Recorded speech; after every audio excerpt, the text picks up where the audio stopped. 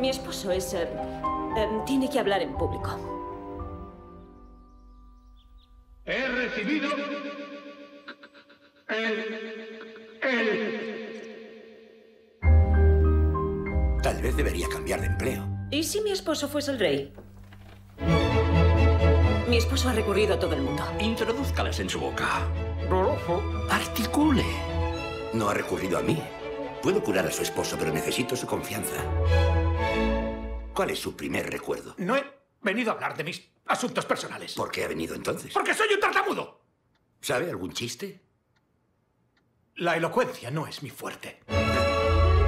Sus métodos son poco convencionales y controvertidos.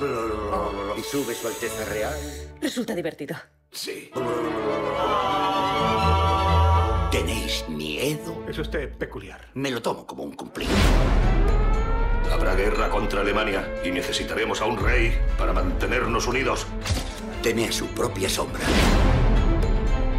La nación cree que cuando hablo, hablo por ella, pero no sé hablar. Puede hacerlo. No se deje dominar por el miedo.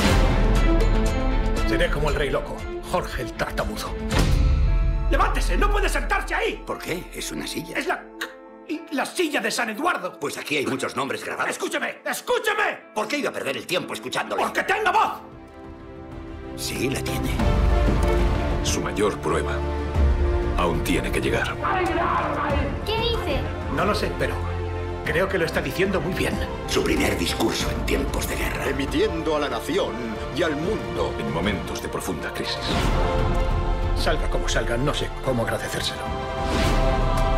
Es usted el hombre más valiente que conozco.